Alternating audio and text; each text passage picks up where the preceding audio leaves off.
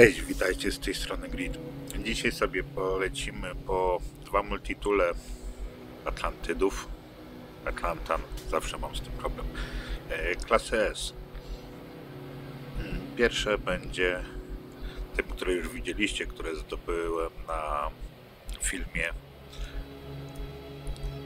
odnośnie jak zdobywać te multitule no ale nie było tam adresu planety, ponieważ to robiliśmy randomowo.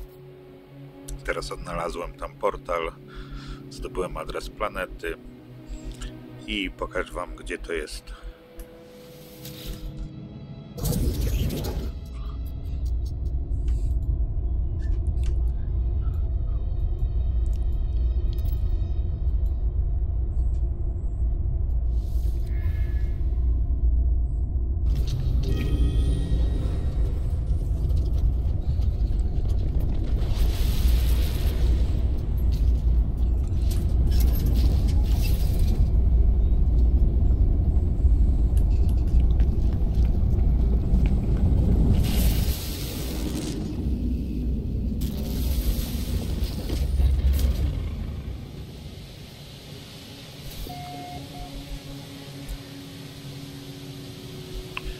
Lądujemy na toksycznej planecie. Teraz będziemy musieli się tylko udać na zarąbali statek. Teraz tylko będziemy musieli się udać na odpowiednie koordynaty.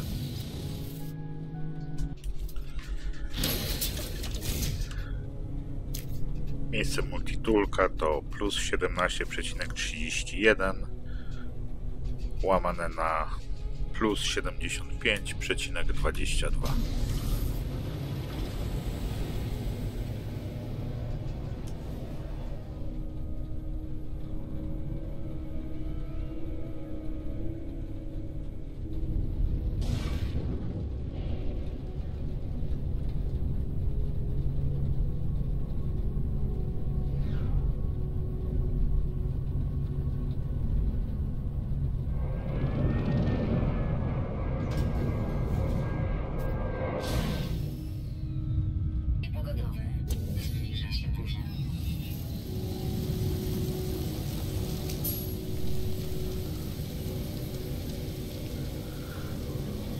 Postawiłem tu już bojkę komunikacyjną, ale dodatkowo wrzucę też ogniwo zapisu, żeby łatwiej Wam było znaleźć, jeżeli byście chcieli się tutaj po nie udać.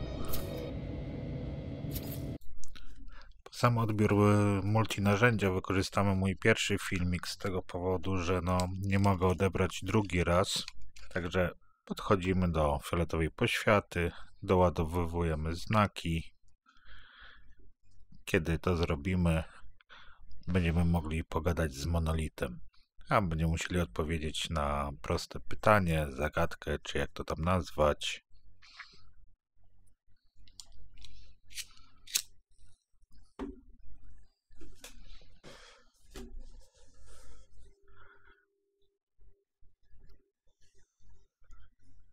Odpowiedzi złych chyba nie ma.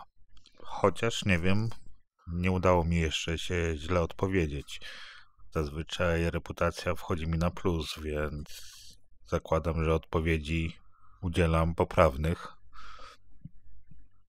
Kiedy już odpowiemy na zagadkę, wracamy do nieharmonijnego interfejsu i pojawi nam się nowa opcja.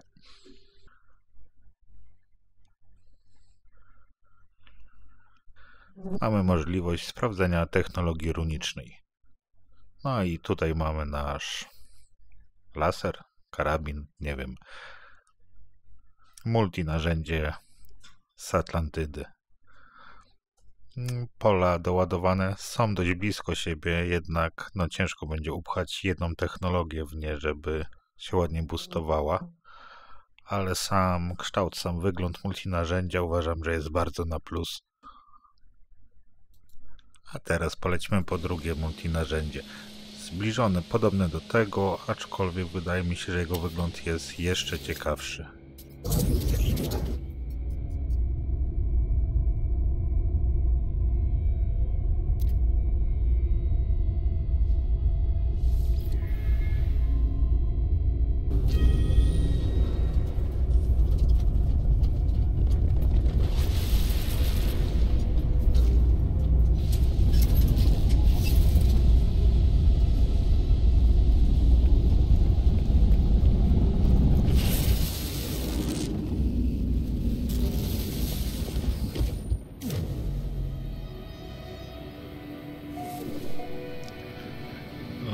Na planecie pełnej baniek i w tym wypadku będziemy musieli zrobić troszeczkę inaczej.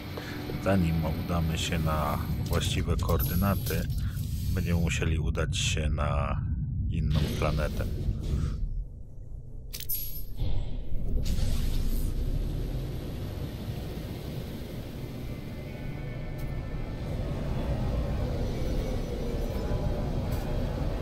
Dokładnie na której znajduje się to czerwone ogniwo zapisu.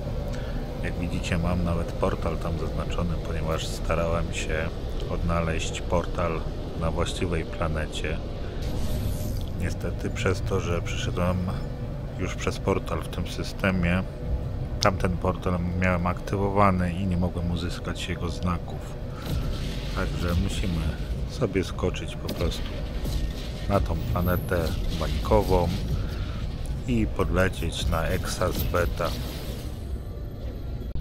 Kiedy już dotrzemy na tą planetę, musimy się udać na koordynaty plus 48,88 łamane na plus 38,69. Jest tutaj baza w pobliżu tego multinarzędzia, więc będzie można w razie czego się na nią kierować. No i standardowo powtarzamy. Fioletowa poświata. Doładowujemy interfejs. Pamiętajcie, że będziecie potrzebowali do tego Atlantideum. Gadamy sobie chwilkę z monolitem.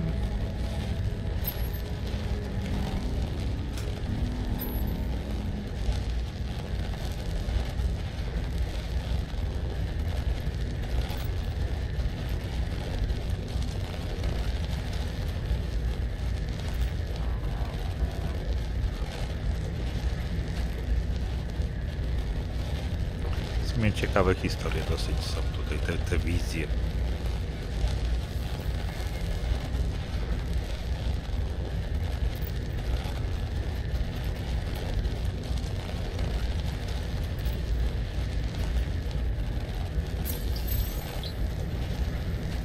Kiedy mamy pogadane, wracamy do interfejsu i za nanity możemy odebrać naszego multitula.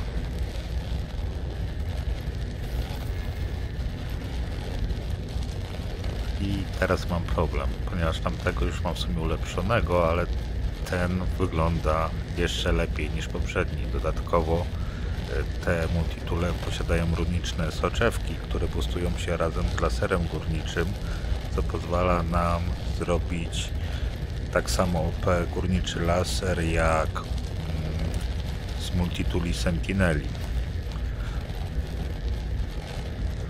No cóż, nie wiem, będę musiał się zastanowić. Na razie polećmy sobie na stację, weźmy go, ulepszmy i sprawdźmy, gdzie ma zamontowane ulepszone pola.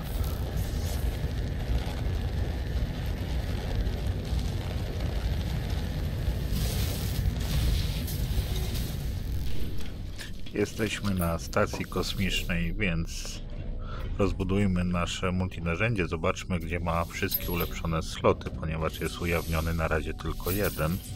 O, już dwa. Już wiemy, że jeden jest bardzo daleko, więc nie będzie na pewno czterech ulepszonych obok siebie. No ale pozostałe trzy mamy całkiem blisko, więc jakby się uprzeć, można by technologię bez większych problemów nie upchnąć.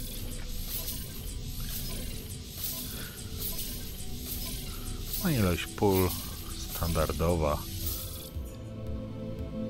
Możemy zamontować większość z technologii, jakich chcemy. E, Dodatkowo mm, chciałbym Wam pokazać, jak mam swój poprzedni zrobiony, też właśnie atlantyckie multinarzędzie.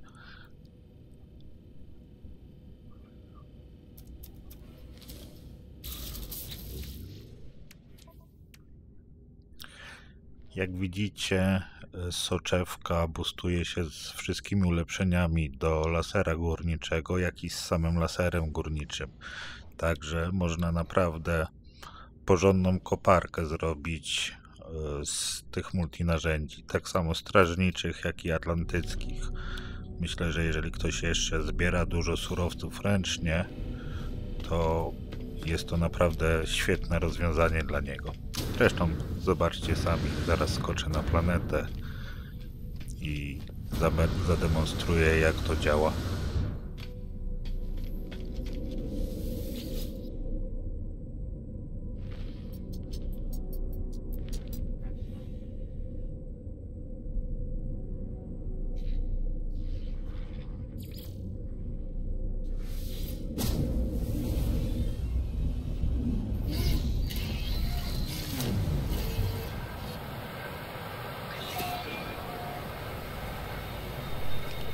Co tu się wydarzyło, czemu mi wyrzuciło komputer bazy z bazy, no ale tym zajmiemy się później na chwilę obecną laser.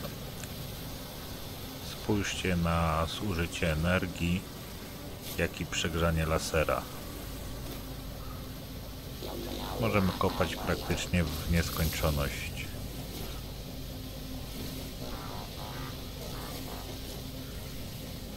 Generalnie przegrzanie powolutku, powolutku się podnosi, ale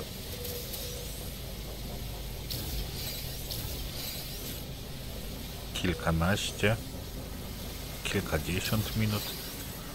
Nie, ma, nie mam pojęcia jak długo. Kiedyś może, może będzie chciało mi się to sprawdzę, ale taki wynik mm, generalnie osiągniemy tylko na multinarzędziach z Atlantydy i multinarzędziach strażniczych, które mają e, już zamontowany własny laser, nie ten standardowy, tylko właśnie albo tą soczewkę, albo zapomniałem nazwy.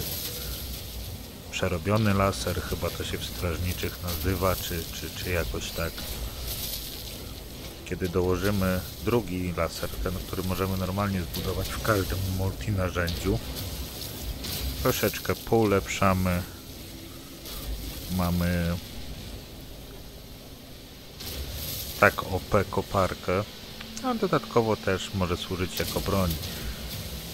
Nie marnuje zbyt wiele amunicji, a możemy prowadzić również ciągły ogień, więc pamiętam, że na poprzedniej ekspedycji nie przejmowałem się zbytnio zdobyciem broni, ponieważ przepraszam, zamontowałem e, zwykły laser górniczy do narzędzia strażników i wszystkie fale strażników rozwalałem właśnie koparką.